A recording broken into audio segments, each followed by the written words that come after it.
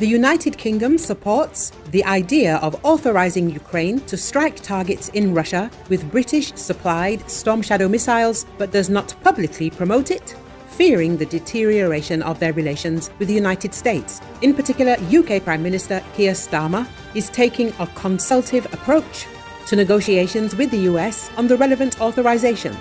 The Telegraph, citing sources in the White House and the UK government, reported this. Journalists noted that UK Prime Minister Keir Starmer does not want to provoke a row and is taking a consultative approach to negotiations with the US on the relevant authorization following diplomatic scandals under the previous Conservative government.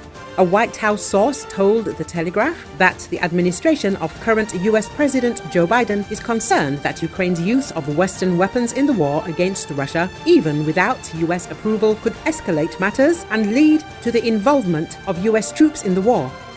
At the same time, journalists report that earlier in the summer, the UK government requested that the US soften its stance and authorize Ukraine to use missiles against targets in Russia. According to The Telegraph, the US privately expressed frustration with the UK's hasty position on the matter of supplying military equipment to Ukraine. The Telegraph's sources also highlighted that the UK's decision to be the first Western country to donate main battle tanks to Ukraine, along with its support for supply flying F 16 fighter jets had raised concerns in Washington.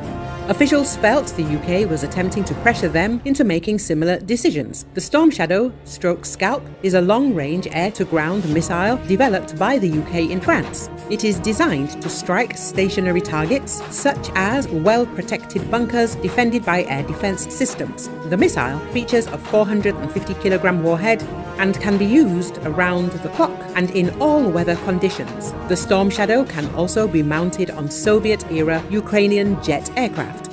The authorization to strike Russian territory would enable Kiev to create strategic uncertainty for the Kremlin. Additionally, the arrival of F 16s in Ukraine, particularly with the capability to target aerial threats over Russia, would substantially bolster Ukraine's air defense capabilities. Such authorizations open up new prospects for Ukraine's defense forces.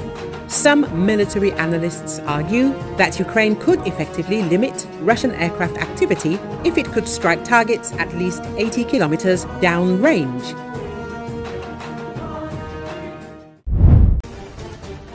This year, among the spectacular events is the Ukrainian invasion of the Kursk region, coupled with a wave of powerful missile and drone attacks. In particular, military airfields, ammunition depots, oil refineries, fuel storage centers, and even Moscow have been hit, writes Edward Lucas, a consultant specializing in European and transatlantic security for The Times.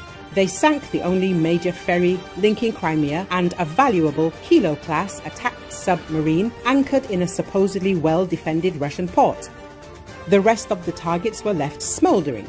Red lines, taboos, and prejudices he said. At the same time, according to the expert, everything is no longer the same because Ukraine has not only changed the situation with the Russian Federation but also confused the timidity and pessimism of its allies. Lucas believes that if Ukraine manages to stop Russian forces, it will be able to lure 3,000 Russian soldiers into a cauldron in the Kursk region. Once captured, they could become useful bargaining chips for the many other Ukrainian POWs in Russia. More than 130,000 have been evacuated from Kursk, spreading their tales of chaos and humiliation across Russia and highlighting the gap between the Kremlin's lies machine and reality. Putin had to withdraw air defenses from Crimea to protect Moscow and other towns in the Russian hinterland, the consultant said. In turn, the most alarming thing for the Kremlin, according to the expert, is that the leader of the private army mercenaries, Paladin Georgy Zakrevsky, criticized the war, calling Putin the so called president. He repeated the disagreement that was previously heard from another military leader, Yevgeny Prigozhin, whose attempted coup also shook the Kremlin.